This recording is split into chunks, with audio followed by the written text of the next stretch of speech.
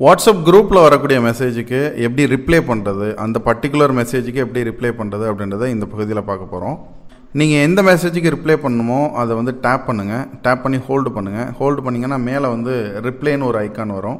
So அந்த reply ஐக்கானை click பண்ணீங்க அப்படின்னா அந்த பர்டிகுலர் மெசேஜுக்கு நீங்கள் ரிப்ளை பண்ணிக்கலாம்.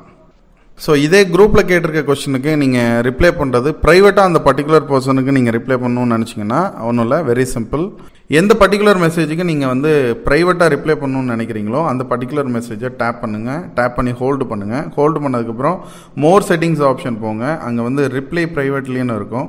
அதை கிளிக் பண்ணிங்க அப்படின்னா எந்த பர்டிகுலர் பர்சனோ அந்த பர்டிகுலர் பர்சனோட சேட்டுக்கு ஓப்பன் ஆகிடும் ஸோ அங்கே நீங்கள் இண்டிவிஜுவலாக ரிப்ளை பண்ணிக்கலாம். ஸோ ஒரு குரூப்பில் வர்றதுக்கு குரூப்லேயும் ரிப்ளை பண்ணலாம். இண்டிவிஜுவலாக ப்ரைவேட்டாகவும் நீங்கள் ரிப்ளை பண்ணலாம். அப்படி ரெண்டு ஆப்ஷனுமே இந்த வாட்ஸ்அப் குரூப்பில் கொடுத்துருக்காங்க. இது மாதிரி நீங்கள் இரண்டு விதங்களில் நீங்கள் ரிப்ளை பண்ணிக்கிற முடியும்.